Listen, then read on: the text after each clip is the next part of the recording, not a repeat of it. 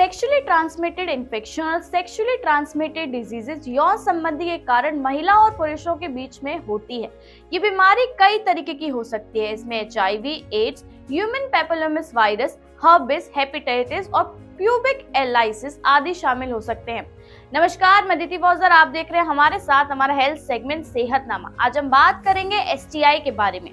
STI एक यौन संचारित संक्रमण है, यानी ये यौन क्रिया से फैलने वाला इन्फेक्शन होता है। आमतौर पर एस और एसटीडी को एक ही माना लिया जाता है, जबकि इन दोनों में फ़र्क है। एक इन्फेक्शन है तो दूसरी बीमारी है। यानी एस बीमारी में तब्दील हो ऐसा ज़रूरी नहीं है। लेकिन अगर आप इसका वक्त पर इलाज करा ले तो ये जानलेवा बीमारी नहीं बनेगी। इससे H syphilis chlamydia herpes hepatitis A और बी जैसी खतरनाक बीमारियाँ के होने का खतरा भी बढ़ जाता है। एस ओरल वजाइनल और यौन संबंधी के ज़रिए होती है। इसमें कुछ बीमारियों के इलाज हैं, लेकिन कुछ के इलाज अभी भी डॉक्टर्स के पास नहीं है। इसलिए बेहतर यह है कि एस को लेकर हम जागरूक रहें। इसे बचने के लिए कुछ सावधानी बरतना बेहद ज़रूरी होती है। तो चलिए आपको बताते हैं ऐसी कुछ सावधानियों के बारे में। सबसे पहले आप कॉन्डम का इस्तेमाल ज़रूर करें। कॉन्डम का इस्तेमाल शारीरिक संबंध बनाते वक्त हमेशा इसका ध्यान रखना चाहिए कि हमें कॉन्डम का इस्तेमाल ज़रूर करना चाहिए।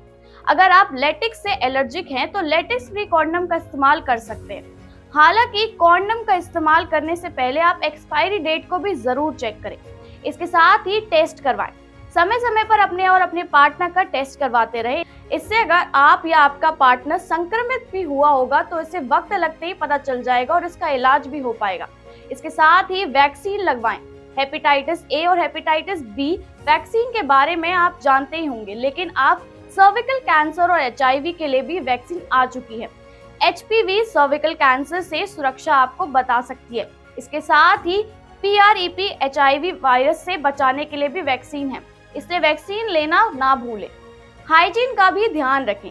किसी भी इन्फेक्शन से बचने के लिए हाइजीन का ध्यान रखना बहुत ज़रूरी होता है। इसलिए किसी भी संबंध से पहले अपने हाथ, मुँह और जेंटल एरिया को अच्छी तरीके से साफ़ कर लें।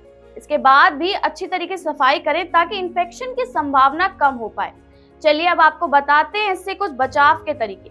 टॉवल या अंडरगारमेंट शेयर ना करें। हेपेटाइटिस बी का वैक्सीन लगवाएँ रेगुलर टेस्ट करवाएँ ताकि एसटीआई या ऐसी कई बीमारियों का आपका पता चल पाए। आज के लिए बस इतना ऐसी और जानकारी के लिए बने रही हमारे चैनल द नगरी न्यूज़ के साथ। धन्यवाद।